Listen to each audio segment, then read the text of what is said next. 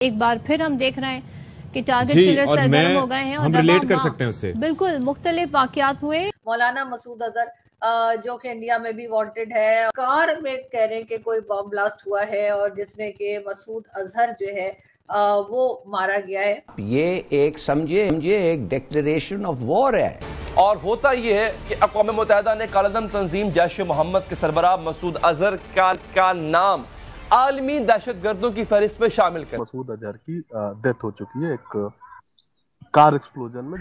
आ, ये कहा गया है कि हालिया हाई प्रोफ़ाइल टारगेट किलिंग के पीछे भारतीय खुफिया एजेंसी रॉ मुलविस है। 2024 आ, का पहला दिन है आज और आज ही के दिन नई खबर आ रही है खुशखबरी आ रही है। और कई पाकिस्तानी वेबसाइट्स हैं जिन्होंने इस खबर को उठाया है और उनका कहना ये है कि मौलाना मसूद अजहर जो है वो पाकिस्तान में मारा गया है। बात निकलेगी तो फिर दूर तलक जाएगी और वो कहते हैं ना बात तो सच है मगर बात है रुसवाई की परवीन शाकिर ने जो कहा था।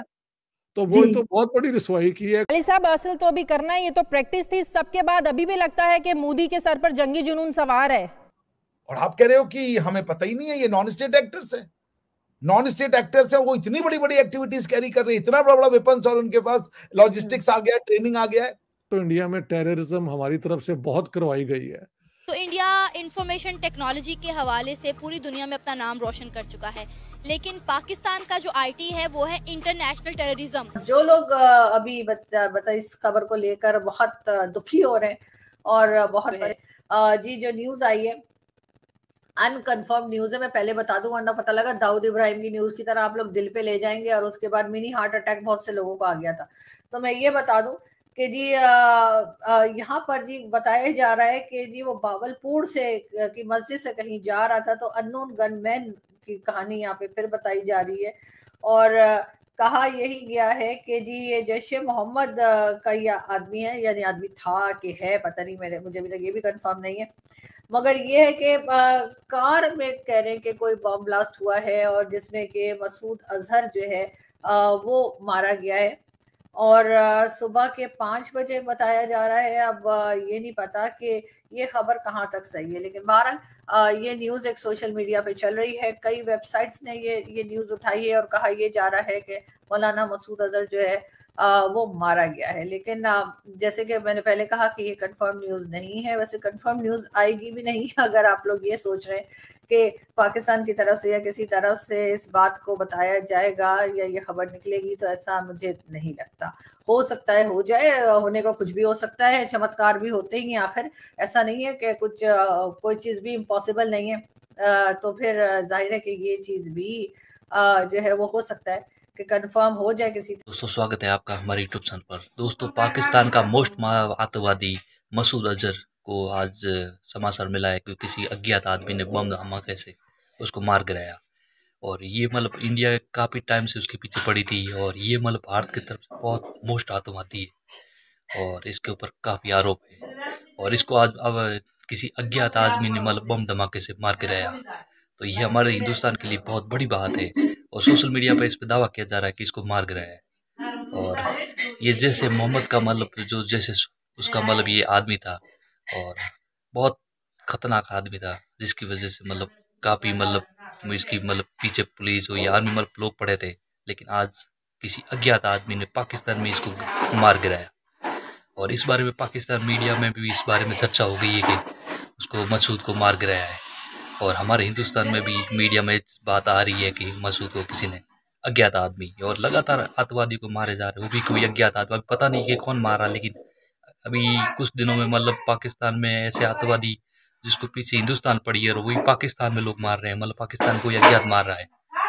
तरीके से, लेकिन फ़िलहाल ये एक अनकंफर्म न्यूज़ है। कई वेबसाइट्स जो है सोशल मीडिया पे, कई इंडियन वेबसाइट्स भी हैं और कई पाकिस्तानी वेबसाइट्स हैं जिन्होंने इस खबर को उठाया है और उनका कहना ये है कि मौलाना मसूद अजहर जो है वो पाकिस्तान में मारा गया है।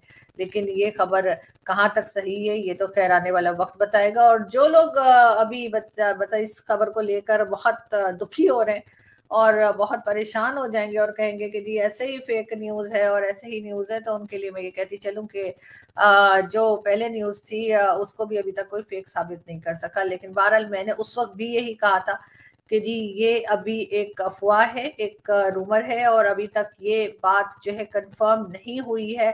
अब मैं दाऊद इब्राहिम की बात कर रही हूँ। कि वो खबर भी मैंने कहा था कि अभी कंफर्म नहीं है लेकिन इस तरह से ये खबर चल रही है। उसके बाद इंटरनेट भी डाउन किया गया था पाकिस्तान में बारह घंटे डाउन भी रहा।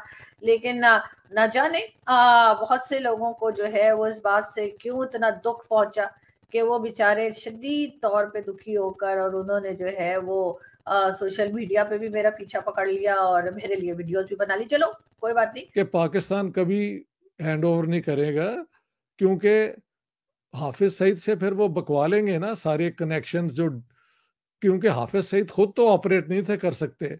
जब तक उसके साथ कोई ना कोई ये रोग स्टेट डीप स्टेट के अंदर लोग इन्वॉल्व ना हो।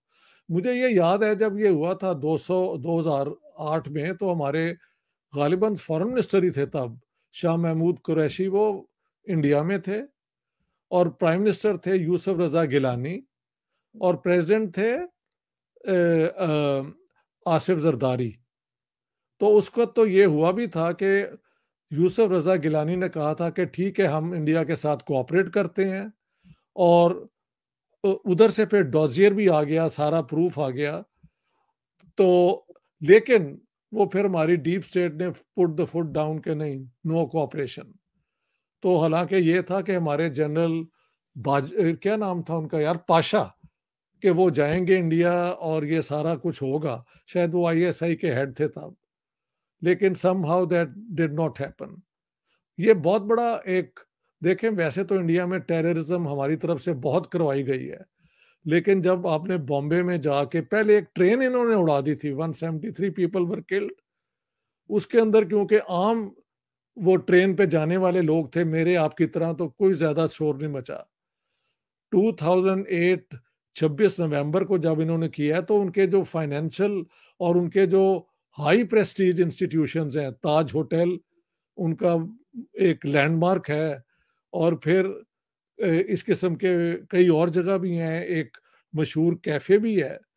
तो उनको उन्होंने तो अब फ़िल्म भी एक बना दी है जो मैंने देखी है जिसमें नाना पाटेकर शायद हैं।